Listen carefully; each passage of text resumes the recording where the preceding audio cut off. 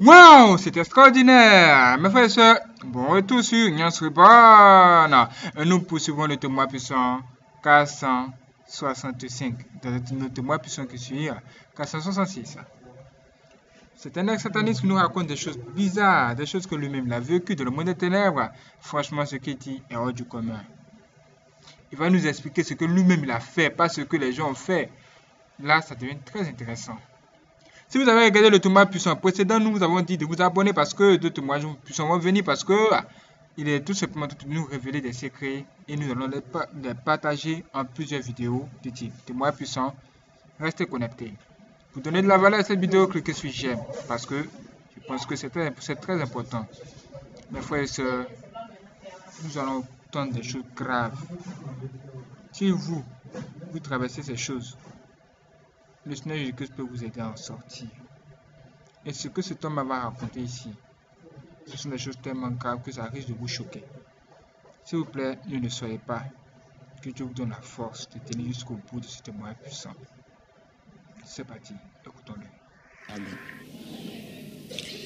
Pendant que je continuais à servir le diable, quand j'étais en Inde, quand on m'a donné toutes ces, ces différentes euh, formes, wakati balinipatia ile mamifano yote je devais maintenant montrer que j'avais le cœur, j'avais le sang-froid.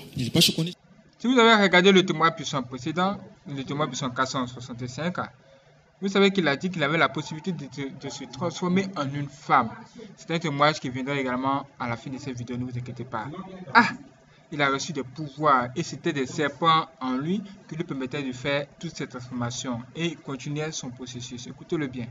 Maintenant qu'il est en train de recevoir tous ces pouvoirs venant du monde des ténèbres, ils vont lui demander de tuer quelqu'un. C'est ce qu'il va nous dire maintenant. Toutes ces, ces différentes formes, je devais maintenant montrer que j'avais le cœur, j'avais le sang-froid. Alors, étant là-bas dans le temple, on a amené un sataniste devant moi. C'est un sataniste qui avait désobéi aux interdits. Alors, on m'a demandé de le tuer avec mes mains. Je l'avais tué avec mes mains. Et quand il était par terre, on m'avait demandé d'enlever le foie avec ma main. Et j'avais fait ça. J'ai introduit ma main dans son corps. Et là, j'ai soutiré le foie. Et j'avais brandi comme ça. Et on avait acclamé. Et après ça, on m'avait conduit dans une pièce. Arrivé là, il y avait une sorte de baignoire. Il y avait de l'eau à l'ébullition. Et on m'avait dit d'entrer dans, dans cette eau-là mai et de commencer à nager. Waouh Alors là, je devais commencer par faire le zen. Le zen, le vide de l'esprit. C'est un principe yogiste. Alors je m'étais concentré et j'étais entré dans l'eau. J'ai nagé là-bas. À ma grande surprise, quand j'étais dans l'eau, l'eau qui était à l'ébullition. Mais l'eau était froide. Et quand j'étais sorti, on m'a dit, maintenant tu deviens un sataniste à part entière. sasa unakuwa mtu wa shetani wewe wote mzima Et après, on m'avait conduit dans une autre pièce. Dans cette pièce-là, il y avait une piscine remplie du sang humain. Et là, on m'avait demandé maintenant de nager dans le sang humain. Et par après, quand j'étais sorti, on m'a dit, à partir d'aujourd'hui, tu n'as pas le droit d'avoir pitié de qui que ce soit. S'il faut tuer, tu dois tuer. Même si c'est ton père, tu dois tuer. Même si ce sont tes frères ou tes soeurs, tu dois tuer. hata ni banduku yako badada yako ua Et après, ça. on m'avait conduit dans une autre pièce. Et là, on a pris une sorte de pommade. un mélange de l'eau bénite avec une poudre à canot. C'est-à-dire, c'est comme la poudre, la poudre noire qu'on trouve dans des piles.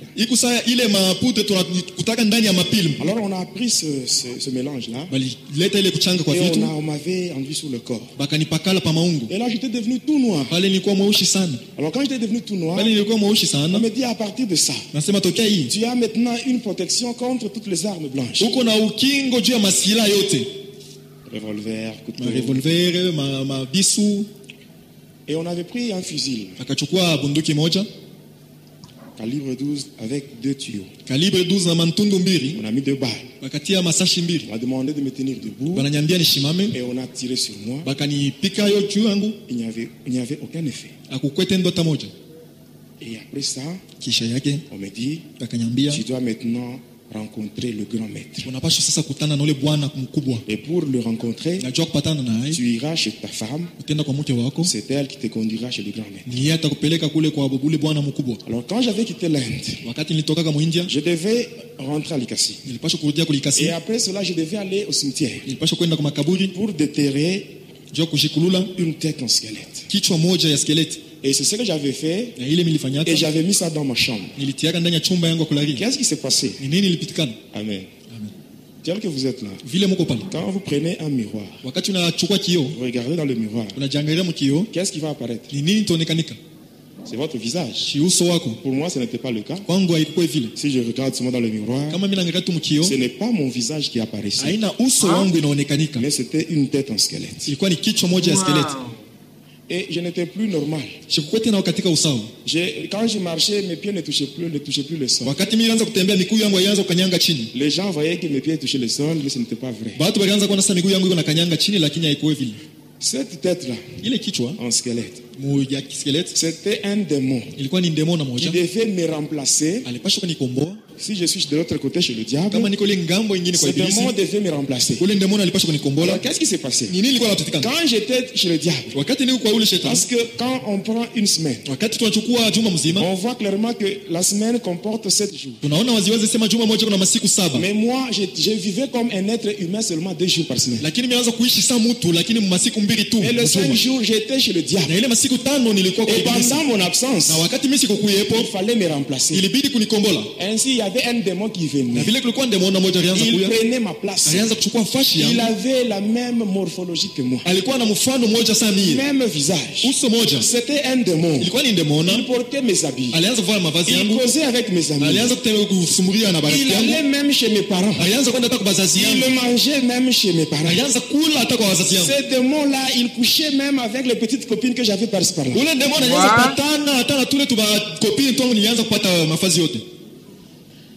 Amen.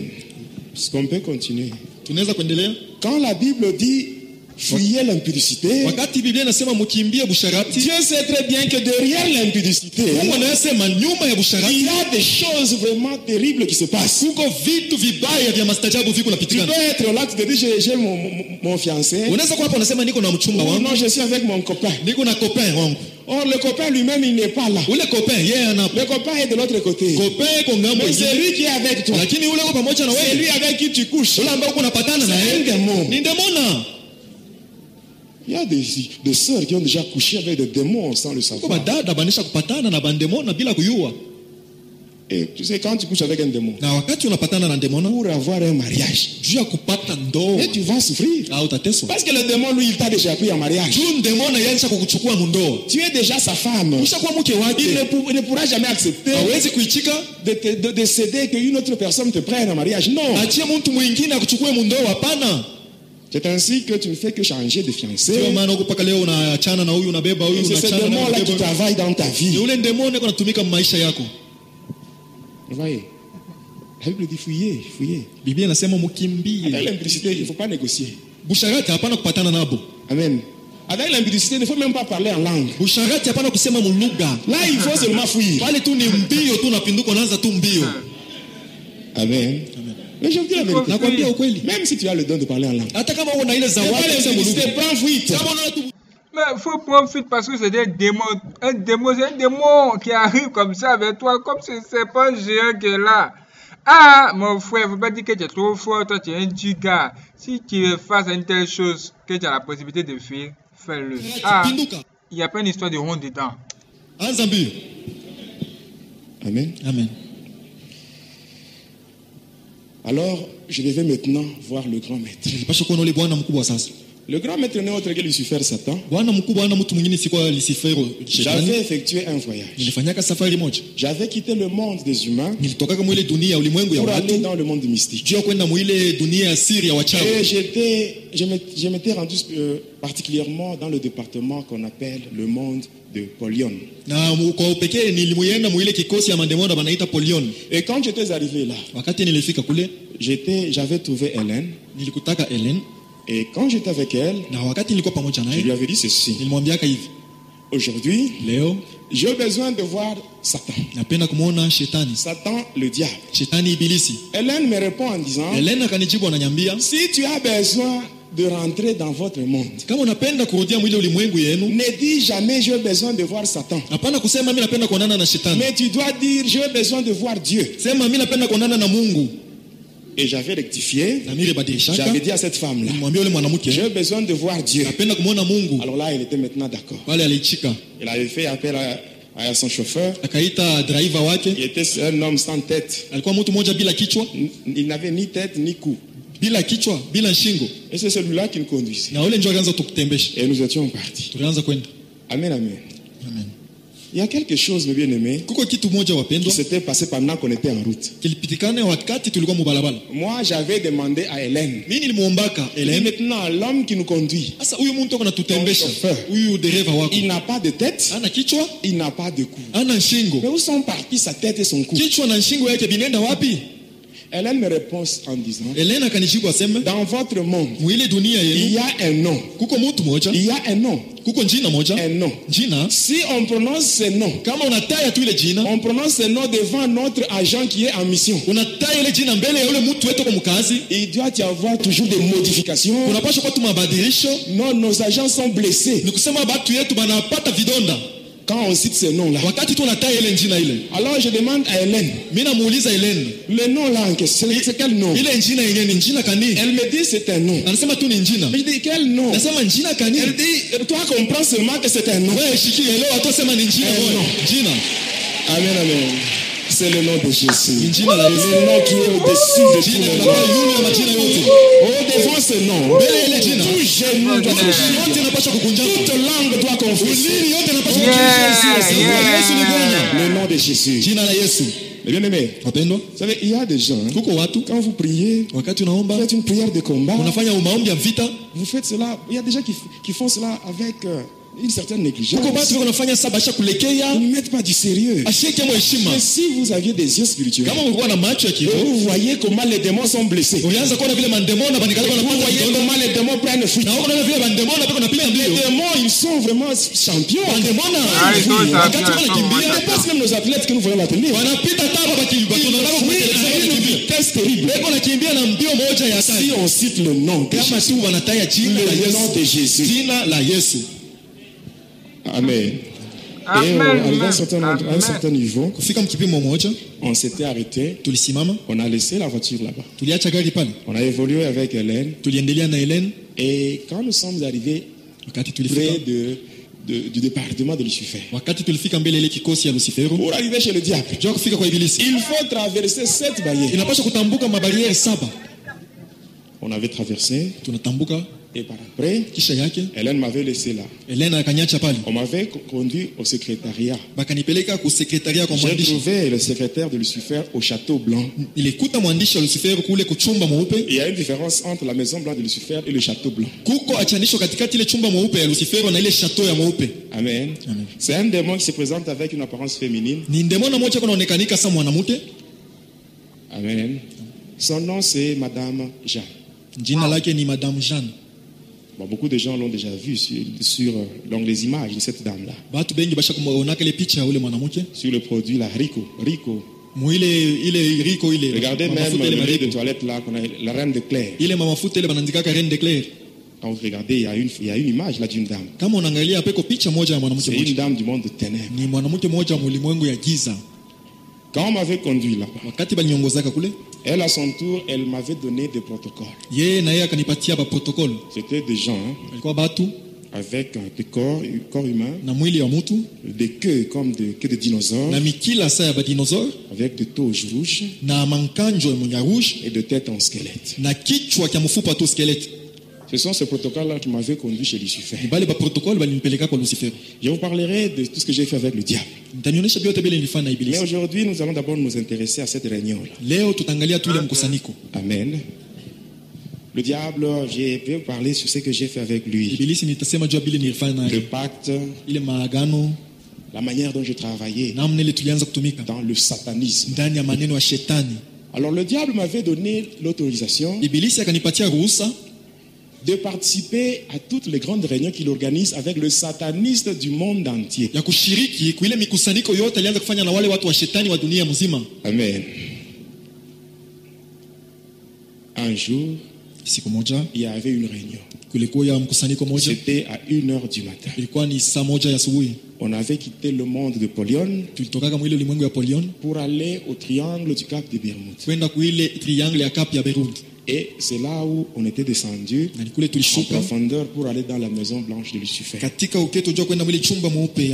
Ce que je vais expliquer, j'aimerais que tu me prêtes ton oreille. Que tu suives trop bien. Amen.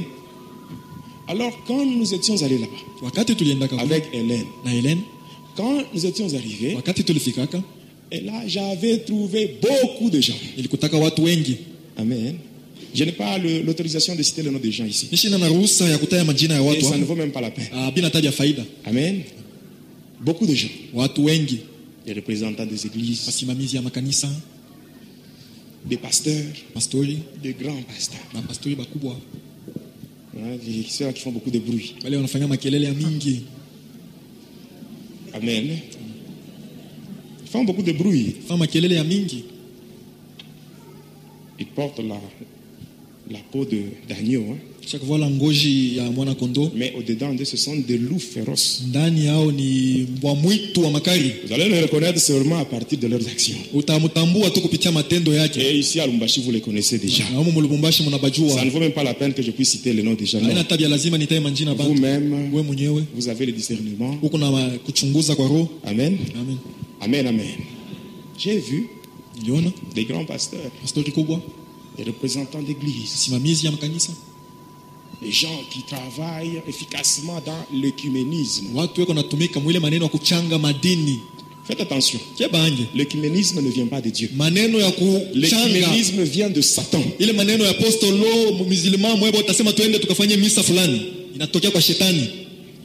Ça vient de Satan. Amen. Et moi, je prends même ce risque- ce risque-là, je vous dis. na mimi Ici, nachukua hatari ya kumwambia L'église ici. namiambia hizi Ici, on organise des cultes écuméniques. kama wanafanya ile mikusanyiko Ne ya partez watu pas de wote ça, de- de- ça, c'est- c'est c'est- c'est glorifier le diable. ushende kwa kule ni kutukuza shetani Amen. Amen. Alors là, là, je le dis, je le dis franchement. Il ile mimi naisema katika moyo ne faut pas assister à des cultes écuméniques. ushende kuile ma, ma, ma, maibada bantu bote makanisa ya kuachana chana iko wako Amen. Vous avez été rachetés à un grand prix. Ne devenez pas esclaves des hommes. Amen, amen. Amen. Quand nous étions là, le diable, il n'était pas encore là. Mais nous, nous étions déjà là. Mais ce n'est pas la même chose avec les enfants de Dieu. Amen. amen Est-ce que vous voyez la différence hein? Le diable n'était pas encore là. Mais nous, nous étions déjà là.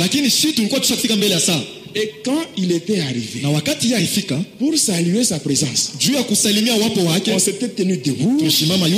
On a commencé à acclamer. On a poussé des cris de joie pour accueillir le diable. Mais quand nous voyons dans l'église, au moment de la louange, il y a des gens qui se font passer comme des ministres. kuko watu wanakosa baziri Mais si tu savais ce que Jésus fait pour toi, si tu savais ce que Jésus fait pour toi, si tu savais tous les complots qui se font contre toi, et tu vois comment Jésus sème la confusion parmi les ennemis, mais tu ne veux pas faire ça. Amen, amen. amen. Amen. Quand il est arrivé, habillé en toge rouge, son toge là brillait. Quand wakati alifika eh bien, mais quand? Vous voyez Lucifer, vous n'allez pas croire que c'est lui le diable. ibilisi Il est très beau.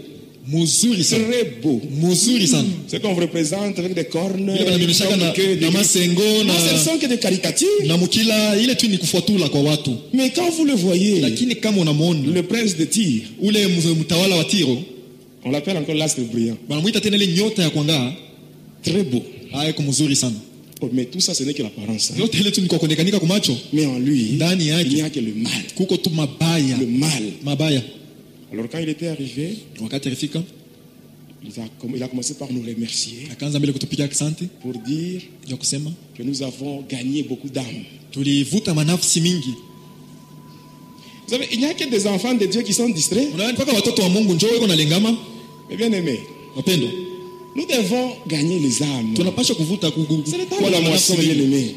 La moisson est grande, mais il y a peu d'ouvriers. Nous devons- gagner les âmes. Même dans le lieu de travail.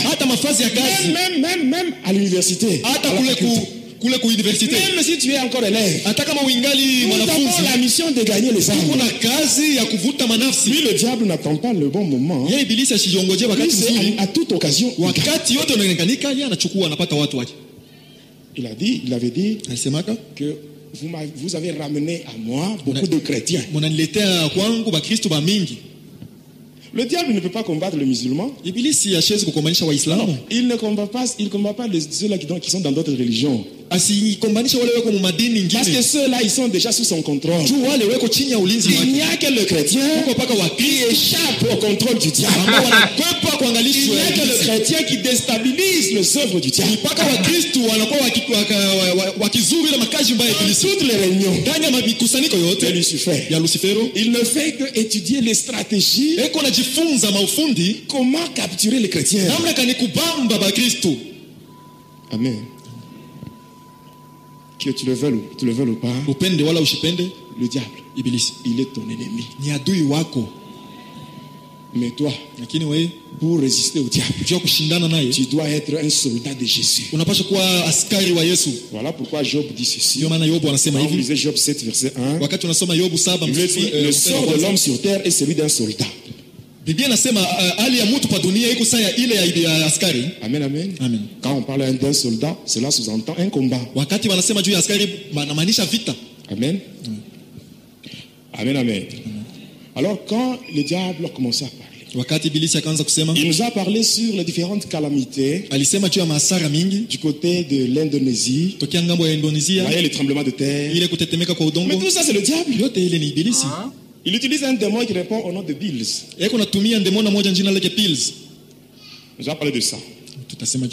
Parce que chez le diable, il y a une banque, benki la banque de sang. ile benki ya damu Sans le sang, le diable n'a pas de force.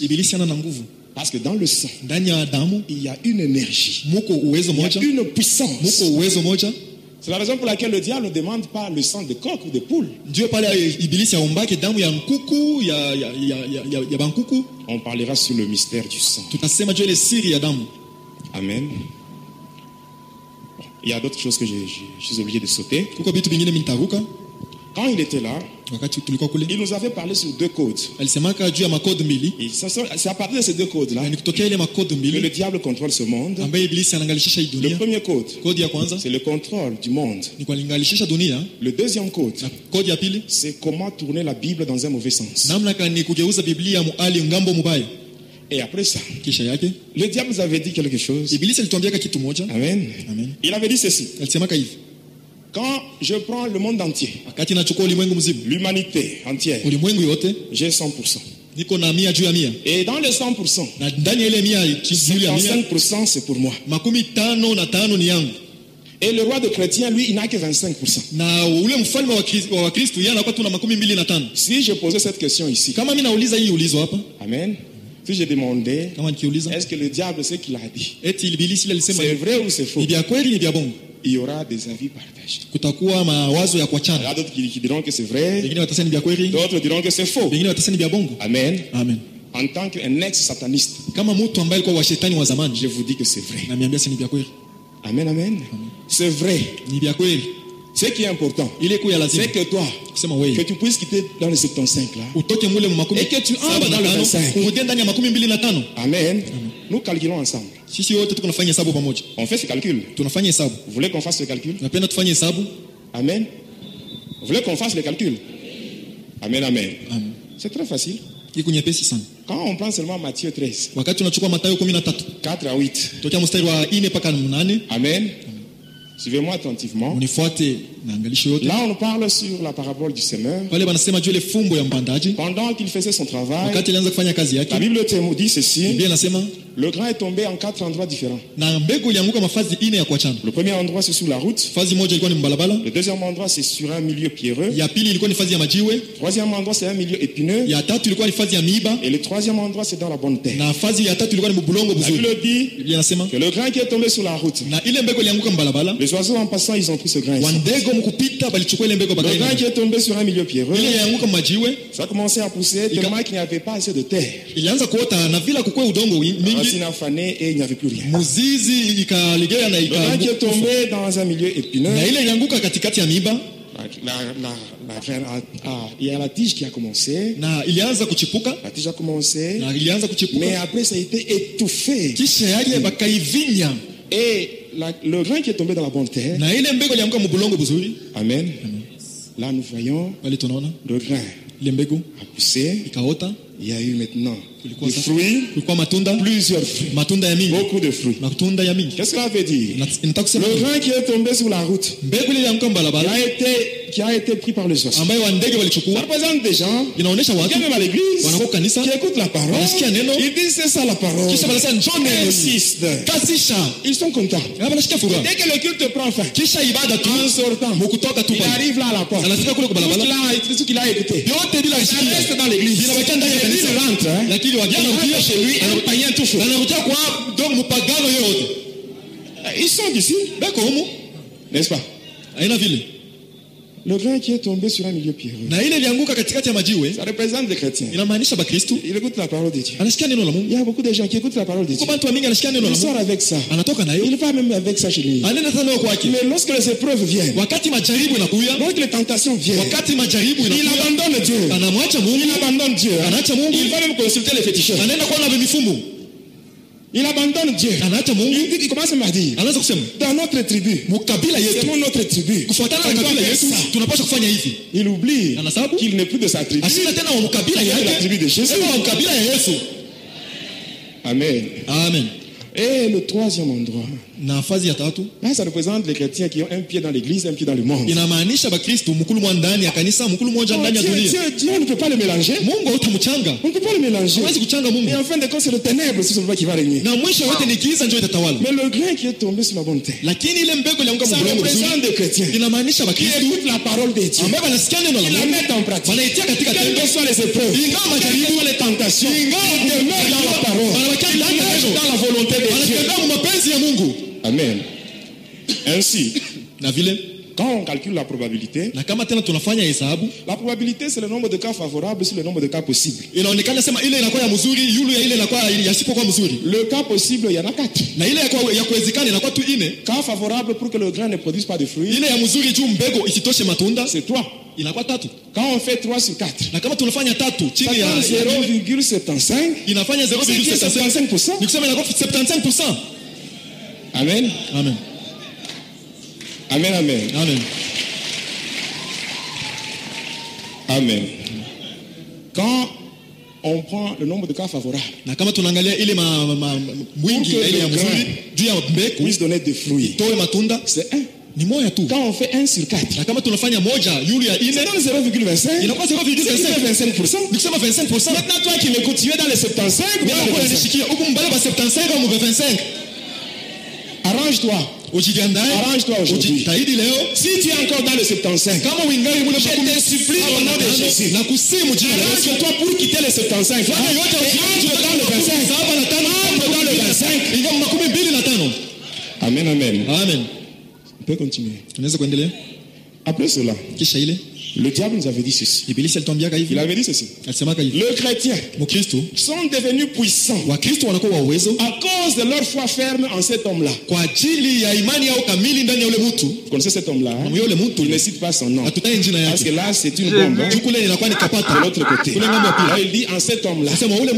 Or, la foi, par définition, japo foi est une ferme assurance. Des choses qu'on espère une démonstration de celles qu'on ne voit pas. C'est ce qui est écrit dans Hébreu 11, verset 1. njo ile anaandika mwaebrania kumi na moja mstari wa Alors, le kwanza diable nous avait dit, s'ils ont la foi, s'ils ont la foi, ils deviennent puissants. Alors, qu'est-ce qu'il faut faire? Il n'a pas Nous devons les affaiblir dans la foi. Il faut qu'ils soient faibles dans la foi. Parce que le diable, il sait aussi la Bible. La Bible dit ceci. Dans Hébreu, la Bible dit dans Hébreu 11. biblia inasema mwaebrania kumi na moja Verset hein. La Bible dit sans la foi. Sans la foi, nul ne peut plaire à Dieu. Sans la foi. Alors il a dit, nous devons affaiblir le chrétien dans la foi. Et ainsi, il nous, a, il nous avait donné les dix commandements. Et je vais vous donner tous les dix Si tu as, tu as un cahier, tu écris les dix commandements. Amen. hein? Et tu sauras utajua si le diable contrôle ta vie ou pas. kama ibilisi kunaongoza maisha yako wala hapana Premier commandement de Lucifer. amri ya kwanza ya lucifero Ne permettez pas aux chrétiens de prier et de jeûner. usimruhusu mkristu aombe na afunge Même ici, ce n'est pas tout le monde qui aime la prière. hata hapa haina bantu wote Ce n'est pas tout le monde qui aime le jeûne. haina ici. bantu wote wanapenda kufunga chakula hapa Amen. amen Amen, amen. Or, la Bible nous dit ceci. Dans 1 Thessaloniciens chapitre 5 verset 17. tesalonika wa kwanza mstari wa La Bible dit priez sans cesse.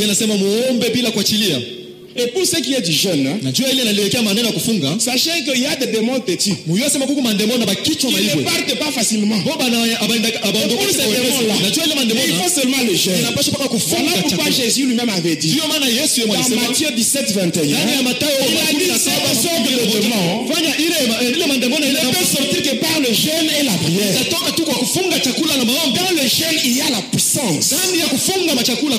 Jésus lui-même, avant de commencer son ministère, juste après son baptême, il été conduit dans le désert. Et là, il, a, il était en jeûne. Et en jeûne, il a vaincu le diable déjà là-bas. Il a vaincu le diable en jeûne. Amen. amen Deuxième commandement. Amen, amen. Le deuxième commandement dit ceci. hivi Ne permettez pas aux chrétiens de lire la Bible, mais laissez-les lire les, les journaux, acha basome magazeti les romans, ainsi que le livre à caractère religieux. Vous allez voir parmi nous ici. Il y a des gens qui portent des habits qui coûtent très cher. Amen. Amen. Et le prix de leurs habits dépasse même le prix de la Bible. amen. amen Je parlais sur le deuxième commandement. Ne permettez pas aux chrétiens de lire la Bible, mais laissez-les lire les romans, maroma les journaux et les livres à caractère religieux.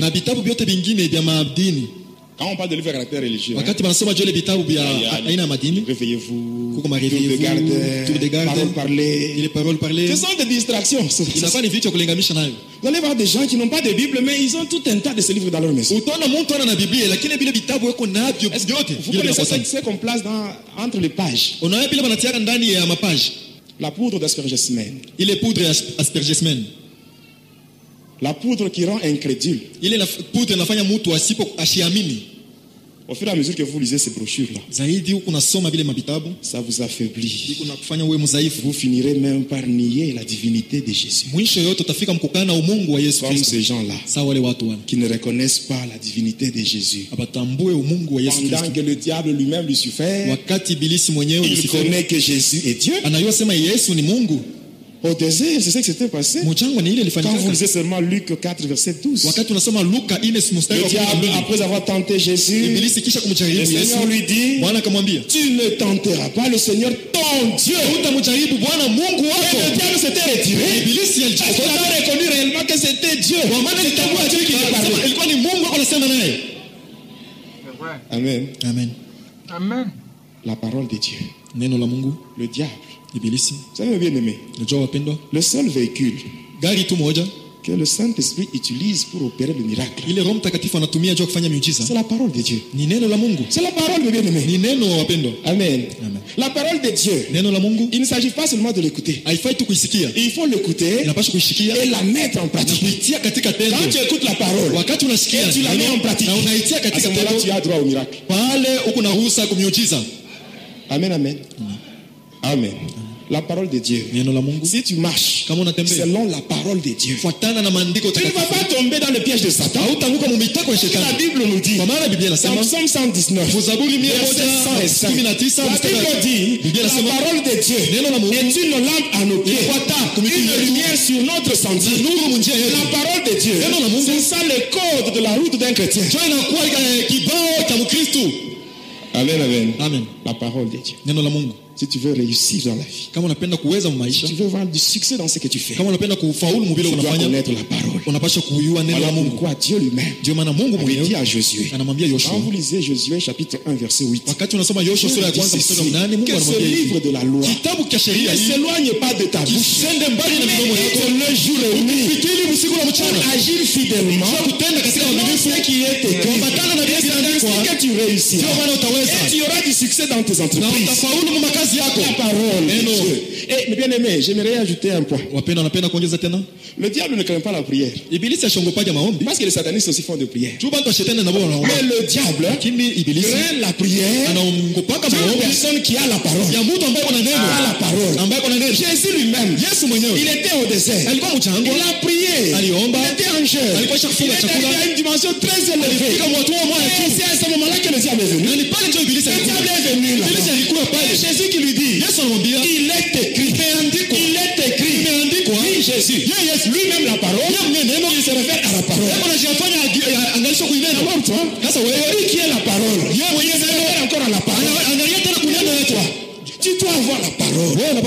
Parole. neno. Le soubassement de la prière, c'est la parole. la fondation. Parce que si tu connais la parole, quand tu pries, naomba connaissant la parole, tu vas seulement rappeler à Dieu. Sa tu propre parole. Comme lui, il est toujours derrière sa parole. kuitimiza Quand tu pries, wakati tu entendras la parole, Amen, amen. amen Troisième commandement. eh, agizo ya tatu wala amri ya tatu Nous dit ceci. Dites aux chrétiens, et Dieu leur Père n'a pas besoin de leurs dîmes et leurs offrandes. Mais ce sont les pasteurs qui les volent. Je reprends. Hein? Et Dieu leur Père n'a pas besoin de leurs dîmes et leurs offrandes. Mais ce sont, ce les pasteurs qui les volent. Et il y a beaucoup de gens qui, qui, qui ont cette conception. Mais quand tu donnes ta dîme, quand tu, quand tu donnes tes offrandes, c'est à Dieu que tu donnes. unapeleka dîme, tu payes à Dieu. Les offrandes, c'est à Dieu. Amen. amen Amen. La Bible nous dit ceci. Dans Deutéronome 16, 16. kumbukumbu la torati kumi na sita kumi na Tu ne te présenteras jamais dans la présence de Dieu avec les mains vides. Et quand vous lisez même Deutéronome 12, hata kama nasoma kumbukumbu la torati kumi na 17 mbili à 18, kutokea mstari wa kumi na saba mpaka kumi na il mnane dit strictement de manger la dîme à la maison. Et la dîme sur toute chose. Mais Dieu dit ceci. Tu, tu vas amener cela dans les lieux que Dieu lui-même choisira. Et les lieux choisis par Dieu, c'est mungu son église. Amen. Quatrième commandement. Laissez les chrétiens pauvres acha bakristu babakie bamashikini en leur disant de ne pas donner les dîmes et les offrandes. Quand on parle sur les offrandes, la dîme, tu sens une lourdeur en toi. Sache que le diable, il a une main mise sur toi pour te bloquer dans la pauvreté. Pour ce qui est de la bénédiction financière, mes bien-aimés, tu dois savoir donner. Dieu fonctionne avec le principe du unapata Amen. Amen. Parce qu'avec Dieu, il faut savoir donner ce que tu as pour avoir ce que tu n'as pas. C'est ça Dieu. Amen. Mais bien aimé, vous savez qu'offrir à Dieu, mungu. c'est craindre Dieu. Si vraiment vous vous dites que moi je marche dans la crainte de Dieu, tu dois aussi offrir à Dieu. Quand tu offres à Dieu, c'est aussi un signe de la crainte de Dieu. Quand Abraham avait offert Isaac, qu'est-ce que l'ange lui avait dit? Quand vous lisez Genèse 22, verset wakati 12, unasoma mwanzo makumi mbili na l'ange mbili dit à il dit Abraham il dit ceci. Maintenant, je sais que tu crains Dieu. Je sais que tu crains Dieu. Parce que tu ne m'as pas refusé ton fils, ton unique fils. Et Dieu ajoute en disant, par la bouche de l'ange, à cause de ce que tu as fait, Dieu, mungu je jure par moi-même, mioyo parole de l'éternel, bwana je jure, je te bénirai, multiplierai ta descendance, comme les étoiles des cieux, comme le sable qui est au bord de la mer. La Bible nous dit, mes bien-aimés, wapendwa quand nous lisons Proverbe 3, verset 9 à 10, wakati tunasoma mezari La Bible dit- la Bible dit ceci, hivi honore l'éternel avec tes biens mali et les prémices de tout ton revenu. C'est ainsi que tes greniers seront remplis d'abondance? voyez, vous voyez l'histoire là de la parabole de l'enfant prodigue. Il a demandé à son père, il a demandé sa part. aliomba Si cela, sehemu ce n'était yake pas un problème. Mais le grand problème, c'est quoi? On lui a donné sa part. Mais en partant, Il est parti avec deux parts.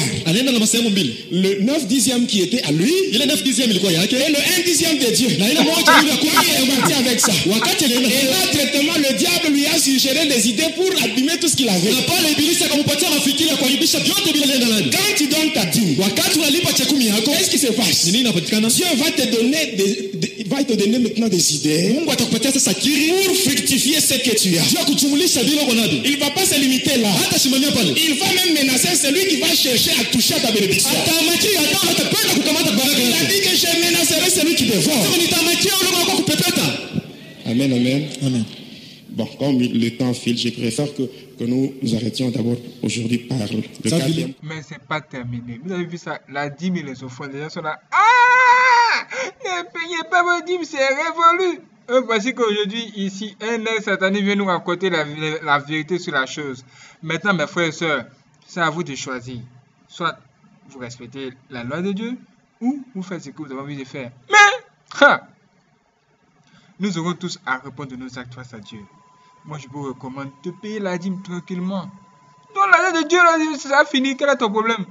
Mes frères et sœurs, c'était un témoignage extraordinaire. Et un autre témoignage suivre, mes frères et sœurs, ça va être chaud. Nous continuerons cette histoire dans une autre dimension. Ah, ça risque même de vous faire peur. Mais ne vous inquiétez pas. Jésus Seigneur, nous allons y arriver. Merci d'avoir regardé cette vidéo. Si vous n'avez pas abonné, cliquez sur abonner, cliquez sur la cloche l'activer. Et préparez-vous là maintenant pour la prochaine vidéo. Parce que nous allons dans une autre dimension. Ça va être chaud.